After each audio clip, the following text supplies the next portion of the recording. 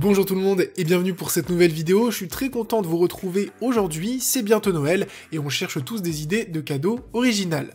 Alors aujourd'hui je vous présente un smartphone pas comme les autres puisqu'il intègre un rétro-projecteur. Cette vidéo est réalisée en partenariat avec la marque française Danyu qui va envoyer le Connect 560 Cinepix. Et comme c'est Noël, vous avez 150 euros de réduction avec le code Monsieur Game 560.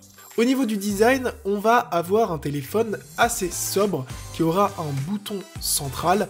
À l'arrière, on va avoir deux nuances de noir, un noir mat et un noir brillant. Le téléphone possède une bonne prise en main, ni trop lourd ni trop léger, et il embarque un écran de 5,5 pouces. Vous trouverez aussi dans la boîte des écouteurs et un chargeur comme d'habitude. Le temps que le test N22 se termine, on va voir ensemble les caractéristiques de ce petit smartphone. Donc vous allez avoir 3 Go de mémoire vive, vous allez avoir 32 Go de stockage qui sont extensibles avec une micro SD, vous allez avoir un octocore 64 bits cadencé à 1.5 GHz, vous allez avoir une bonne batterie de 4500 A et vous avez aussi un lecteur d'empreintes à l'avant.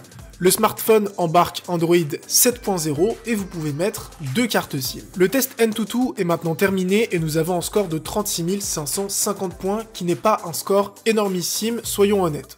Mais ce n'est pas le gros point fort de ce smartphone puisque son point fort c'est d'être l'un des seuls smartphones à intégrer un rétroprojecteur qui est très très bien caché à l'intérieur de la coque, je pense que vous l'avez même pas encore vu, et du coup ça c'est vraiment son point fort. Mais qu'est-ce que ça veut dire 36 550 points?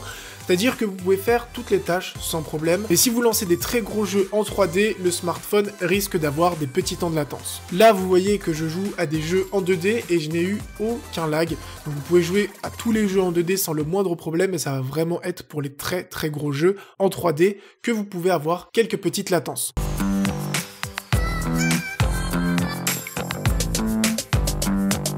Au niveau de l'appareil photo, on va voir 13 mégapixels à l'arrière, 8 mégapixels à l'avant, et au niveau de la résolution de l'écran, on va être sur du 1920 par 1080. Comme vous pouvez le voir en fond, je vous ai pris une petite photo avec le smartphone. On a une photo qui est de qualité correcte, avec un bon rendu de l'image, sans plus. Au niveau de la vidéo, c'est le même constat, on a une qualité de vidéo qui reste très correcte.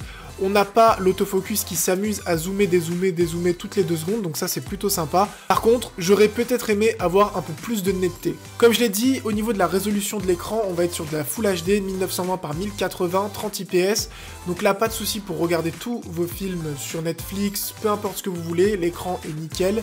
Il euh, n'y a pas de souci particulier sur cet écran. C'est un écran de bonne qualité qui fait vraiment le job. Et là, on passe vraiment au gros point fort de ce smartphone. Et comme je l'ai dit, il s'agit de son rétroprojecteur. Et vous le voyez, il était vraiment ultra camouflé. Sachez que ce rétroprojecteur peut diffuser une image avec une diagonale maximale de 3 mètres, ce qui est juste énorme.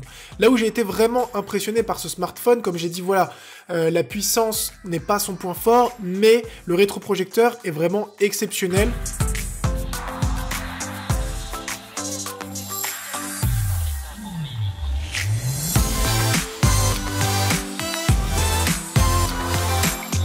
Puisque en fait il va corriger automatiquement les trapèzes. Et du coup bah, si vous penchez le téléphone vers le haut ou vers le bas ça va remettre l'image droite directement. Et ça c'est vraiment très très cool. En fait je m'attendais pas à avoir un rétroprojecteur de si bonne qualité puisque l'image est ultra nette. Alors là, peut-être que ça se voit pas trop sur la vidéo, j'ai vraiment essayé de faire le maximum, mais l'image est vraiment très, très, très, très nette, et c'est vraiment pour moi le gros, gros, gros point fort, et vu qu'ils le vendent comme un smartphone avec un rétroprojecteur, je pense que euh, le deal, entre guillemets, a été respecté.